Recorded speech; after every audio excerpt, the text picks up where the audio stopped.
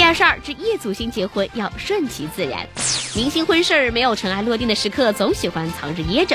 比如十二个叶祖新和华妃蒋欣，明明已经是众所周知男女朋友，却死鸭子嘴硬不肯承认。就连拍戏女友来探班这种小事，也要找借口否认。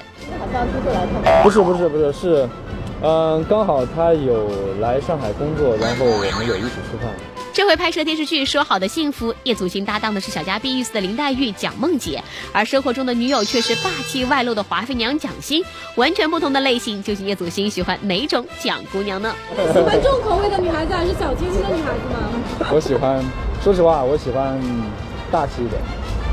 大气吗？啊，这个，这个，这个，这个，咱们，哎，蒋老师。我觉得对蒋老师高端大气上档次嘛，是吧，蒋老师？你爱高端洋气上档次，那咱们华妃绝对妥妥的。不服，赏你一丈红。可是小叶子，时候不早了，你怎么还不把娘娘娶回家去呢？随缘吧，这种东西，缘分到了，自然而然就就成了。那你自己有想过自己的婚礼可能是想要什么样的，在哪里举行？在澳洲啊，和吴奇隆啊。所以你上次去澳洲是去考察，就是没有那个地方？不是，我是去度蜜月的。和华妃居然成了情敌，世界好不真实啊！